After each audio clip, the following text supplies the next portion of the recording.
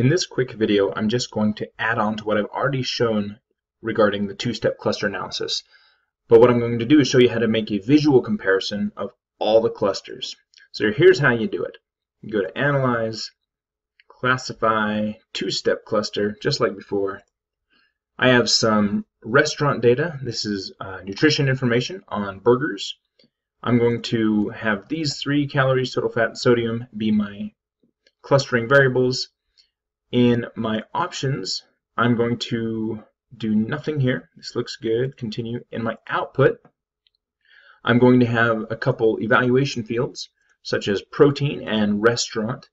Again, uh, just as I stated in my other video, the clustering algorithm will not use these two variables to create the clusters but it will allow us to then evaluate the clusters uh, based on these two variables, or evaluate these two variables based on the clusters.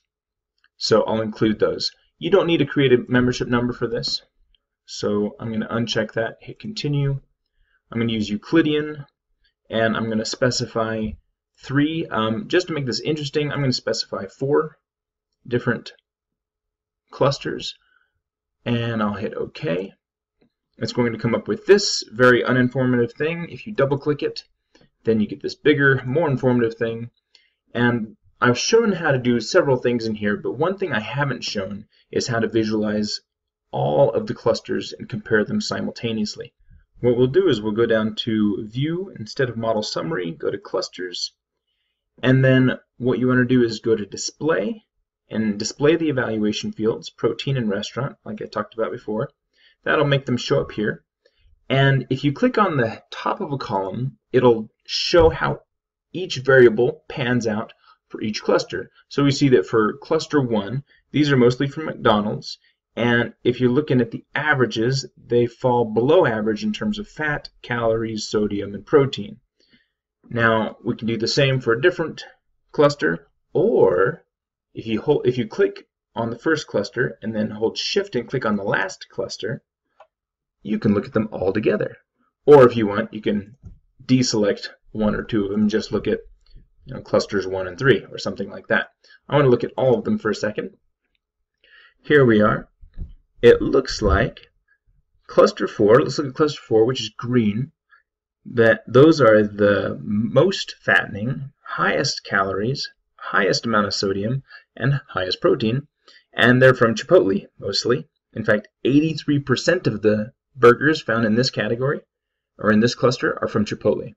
So you have been warned. Um, now, a lot of the burgers from cluster 3 are also from Chipotle. Uh, in fact, 75% of them are. And this blue, so these are sort of the next highest.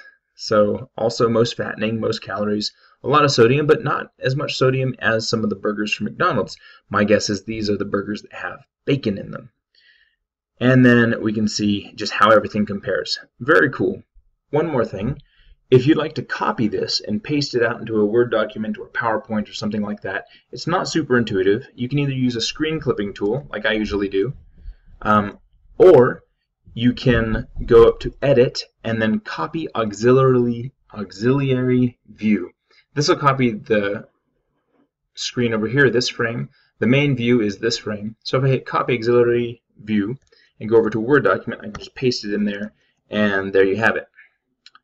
That's all.